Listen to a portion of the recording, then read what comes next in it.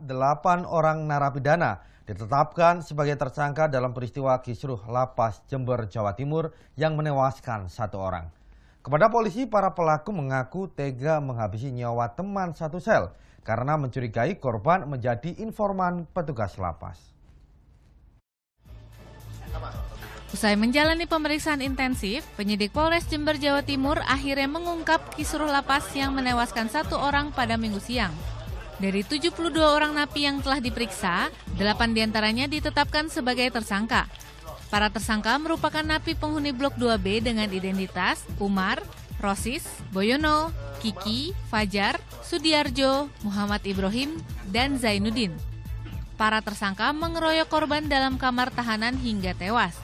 Kepada polisi, tersangka mengaku curiga dengan korban telah menjadi informan petugas lapas rentetan ceritanya adalah pada tanggal 23 Agustus 2018 hari Kamis itu eh, saudara S melakukan pemanggilan terhadap korban ya.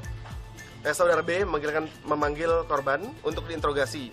Eh, apakah yang bersangkutan yang selama ini diduga sebagai informannya petugas lapas terhadap pelanggaran-pelanggaran warga binaan yang ada di blok tersebut kemudian uh, karena tidak mengakui dan berujung kepada keributan uh, warga binaan yang namanya F inisial F itu melakukan pemitingan pencekikan dari belakang Sebelumnya, peristiwa pembunuhan terjadi Jumat lalu, di mana penghuni lapas bernama Dita alias Muhammad Handita ditemukan tewas tak wajar dalam sel. Akibatnya, 72 napi harus dievakuasi paksa ke Mapolres Jember untuk menghindari kisruh susulan. Mahfud Sunarji melaporkan untuk NET.